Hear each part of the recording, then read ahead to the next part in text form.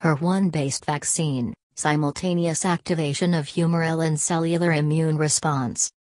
Via seminars in oncology.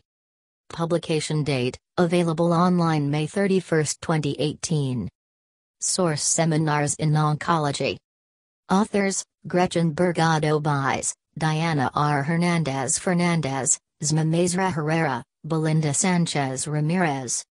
The human epidermal growth factor receptor 1, HER1, is a tumor associated antigen that has been validated as a clinical target for several passive, non immune therapies currently approved for the treatment of epithelial tumors. HER1 is an oncogene that not only promotes tumor progression and survival, but also immune escape.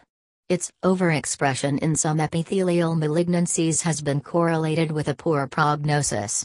We developed an approach to target HER1 by specific active immunotherapy, recognizing the extracellular domain of the receptor, using a combination of VSSP and Montanide 51 as adjuvants.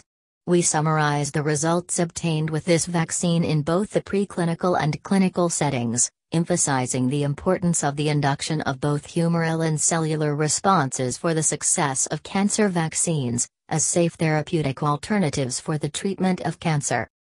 AdTags, currently, Cancer, Medicine by Alexandros G. Sfakianakis,